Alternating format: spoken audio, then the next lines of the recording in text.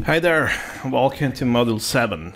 So this module is dedicated to introduce you to very basic programming, okay? Remember, this is an introductory uh, training, so it's better to master essential skills and then programming. So here we're going to introduce you how to do basic programming to implement your own boundary conditions and also your initial conditions. Okay, so we're going to use something called code string that it will let you program directly in the dictionaries where you need to implement your initial boundary condition. So it's, it is the easiest way to implement a boundary condition in case that you don't find the boundary condition that you need you know in the pool of functions that you you have available in OpenFOAM i want to point out that you have a supplement with this slides where we talk in more details okay about some more advanced topics uh, on, on, programming, but I'm not going to address that. We're going just to focus in this very uh, introductory boundary conditions and programming no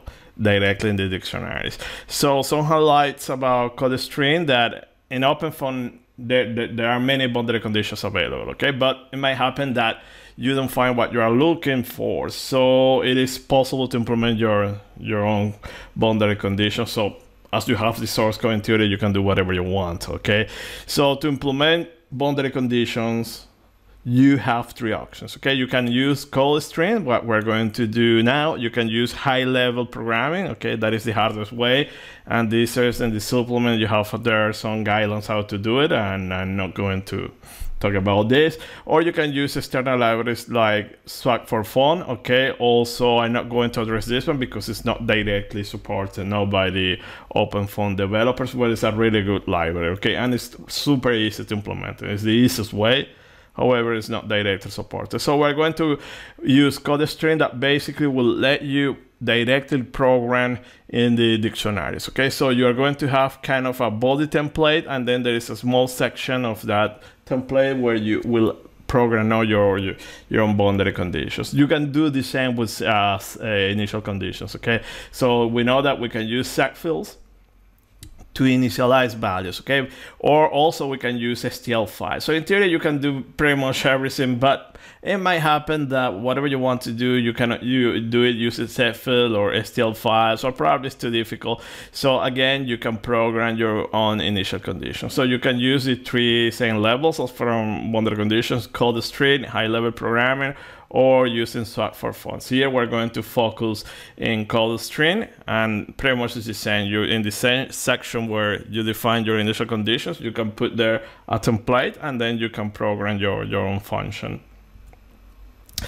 So as I said, remember that in the in the slides, now in the deck of slides, you are going to have a supplemental slide set where we address now building blocks, implementing boundary conditions and initial conditions using high level programming. Okay, implementing an application from scratch and adding adding uh, the scalar transport equations to ICOFOAM or any other solver. Okay, so this is the, the, the, difficult, the hard way. Now, if you want to go into details, I'm not going to to prepare anything about this because for our interest, I think uh, codeStream we're going to manage to, to do everything. But if you are curious, if you want to go deeper into details, you have that, and also we can meet during the Q and A session and address a little bit that. Honestly, I have to tell you, I don't recall the last time I programmed something in OpenFOAM. Okay, as as it is today, most of this is already implemented. Okay, the last development that I did was in turbulence modeling. I still am doing something on that because it's specific turbulence models,